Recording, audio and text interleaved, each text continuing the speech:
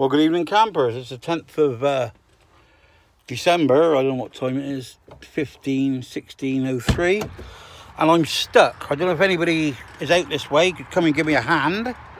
I don't need much of a pull. I'm... I'll show you. Does that work? How's that working? I'm up here. That way is towards Exeter. I'm up at the, I came up at the A36, turned left, and I'm at the top of the dual carriageway. Just the dual carriageway ends. I'm here, I think White Parish or whatever it is, is just down the hill there. And what I've done is I've backed onto here and I shunted about to try and get myself level and I've got myself torpedoed. So here I am sort of stuck trying to dig myself out, but I can't seem to get myself out. Um, it's not a very hard rise to get out. But what I need, I've got a, a belt here and that, or something to pull me out with. But I need to be pulled either back this way, which I've got a strap on.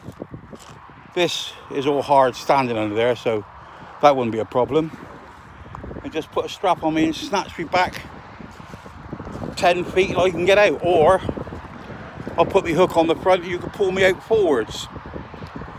But any help would be appreciated. Um, I've rang a couple of people but they're not answering their phone.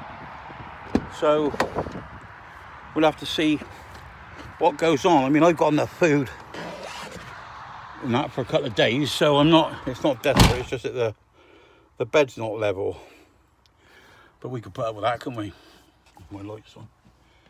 Yeah, so um, I got myself fucking torpedo. Captain Pugwash has fucked it up. So I look at quite up here. I was going to go down to um, to see if the drove was open and that, but I don't think it is. But I was going to go on to Woodhenge, but I thought myself, I'll come up here because it's nice and quiet. And I reversed back and got sloping downwards. And instead of stopping there and trying to got, and got my paddle boards out and got myself out, I got further down in. Amateur, very fucking amateur. But I've got a tow eye on the front and I've got a hook on the back, so I've got a 12 ton strap. So we can, I could be pulled out, I could be pulled out quite easily. Four wheel drive would be ideal. But I would thought another van would pull me out or pull me out that way. But hey ho, I mean, even if somebody was up here and just put the boards under while I was spinning the wheels, maybe that would help. Um, or somebody with a shovel, maybe. I'm not really too sure. Anyway, peeps,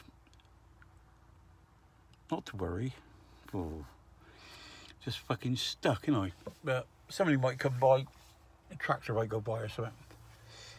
Um, if not, I have to fuck. Well, I got to stay here. I was staying here anyway, so it's not too bad. It's just that the the bed will be a bit weird. But not to worry. So I'll speak to you all later. Remember, you all stay classy, you know, fighting. Bye bye. Do